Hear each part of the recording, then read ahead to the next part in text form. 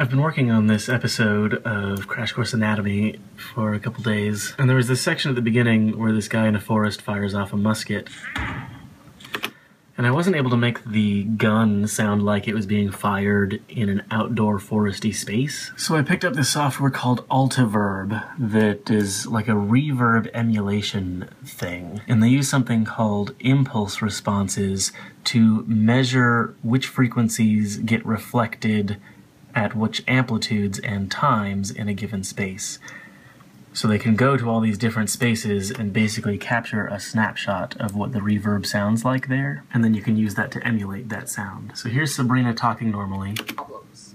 Problems, problems, problems. We've been learning a lot about engineering with And here's Sabrina talking inside of bus tunnel. Problems, problems, problems. Or street. We've already learned about how engineers define problems. Now it's time to discover how they define them. Or subway tunnel. How they define So here we have this doctor sawing into somebody else. So to create the sound for this bit of animation, I'm gonna use this head of lettuce and this saw. hey Nick, how's it going? oh, that was way cleaner than I expected. This thing is pretty sharp, I guess.